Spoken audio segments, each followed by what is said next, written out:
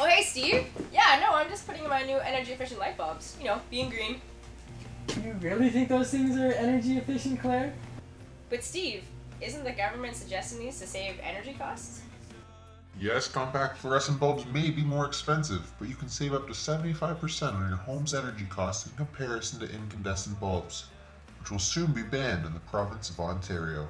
Is that really what you think, Claire? I think you're in the dark on this one. Can you enlighten me? The Ontario government and millions of other North Americans fail to take into account the amount of energy used in the entire process of making compact fluorescent bulbs, also known as CFLs.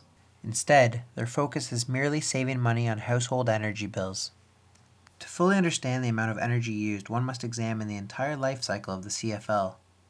The journey begins in China, where materials needed for the CFL are extracted and transported to a factory. These factories will manufacture the CFLs and put them on a ship to travel all the way across the Pacific Ocean, almost 12,000 kilometers to North America. Once the CFLs are in North America, they are further transported to warehouses and retailers across the continent. If governments in North America created a law that required local industries to manufacture incandescent bulbs for their own region, transportation would be drastically reduced, which in turn would limit the overall amount of energy expended in comparison to the current system. But don't just hear it from me. Let's listen to what our scientist has to say. Hi, kids! As any good scientist knows, this light bulb here is made in China, and that costs extreme amounts of energy to make, manufacture, and ship to North America. This incandescent, on the other hand, is made locally here in North America, which results in a lot less energy used. This is one of the many reasons why this light bulb here is actually more efficient than this one.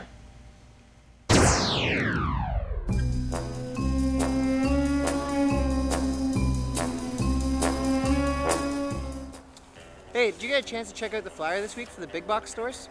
They really dropped the price on those fluorescent bulbs. Oh, that's brutal. Those things are pieces of junk. We should really keep an eye on Claire. I know she likes those green items. Yeah, good idea.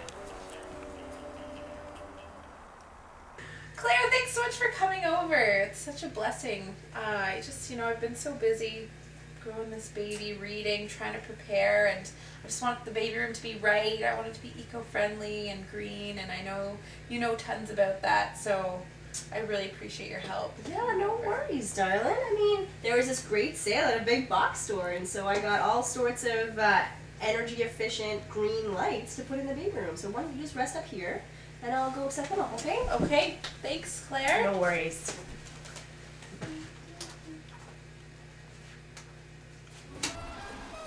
Jeez Louise, can you believe that girl? Just brutal. Don't worry. I got this one.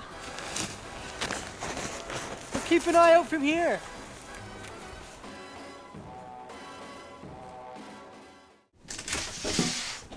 Claire, what are you doing? Yeah, yeah, Andy. I know, but it was on sale, and the box said it was green. Don't you know that light contains one of the most toxic chemicals in the world? Really? Which one? Mercury. Not the best choice for the baby's room. But what proof do you have? Well, actually, my research shows that mercury is actually one of the most toxic substances in the world. Even a small amount can cause cancer, make your teeth fall out, or build up in your body and be a neurotoxin and give you brain damage. That's why I'm wearing this glove. If I were to drop this light bulb, this whole room would be a biohazard site. This little baby here is just glass, tungsten, and brass. It's harmless.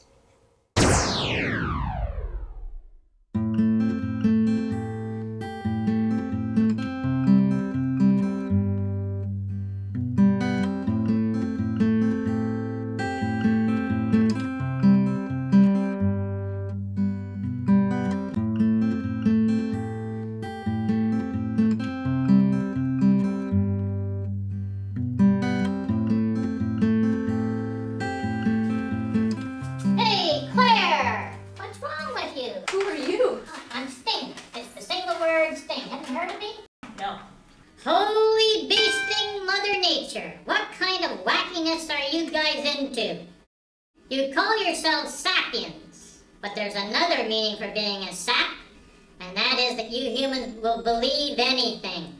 How could storing a neurotoxin in all the bedrooms of children in North America be a wise thing. We see was on sale. Now, you Usoppy's often answer is just a little bit. As if that's a reasonable response. But what happens when you're out in the bush? You drop your drawers, and I come along and I give you a little love tap on your behind. You jump and yelp and swell up from that little bit of juice. And when we say it's only a little bit, you try to whack us. With many things in life, a little bit can be deadly, and mercury is one of those things. Why do you sappies allow this to happen? Have you all been drugged? Are you walking around in your sleep? And when you want to change the CFL, you send somebody to China to get a new bulb? Wacky! Mother Nature has been managing the Earth for 4.6 billion years, and she found the best thing to do with lots of these substances like carbon dioxide, like fluorine, is to bury them under the ground. But you sappies think you're smarter than Mother Nature. You have the hubris to think you know better? Don't they teach you how to ask meaningful questions in school? Don't you know the three R's? Yeah, for sure. Reduce, reuse, recycle. What?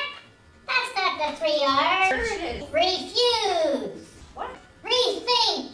Huh? Reconceptualize everything. We need to start being more critical about where all of our products are coming from. Like, do you know where your clothes come from? Do you know where your uh, food is grown? Do you know what kind of things they put into your food?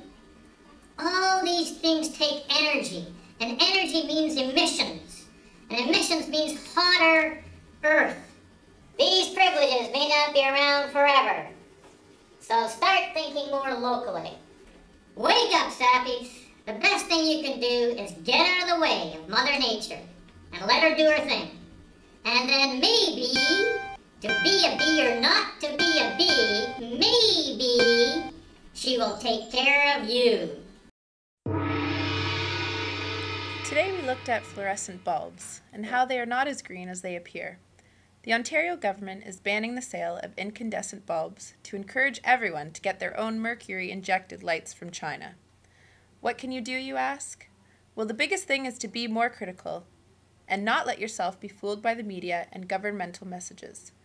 Start asking questions about things you're not sure of. Where are hybrid cars made? What is biofuel?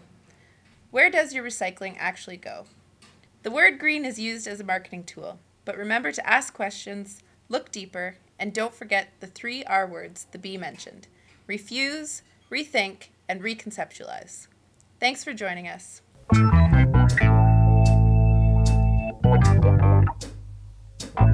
can change the world with my own two hands, make a better place.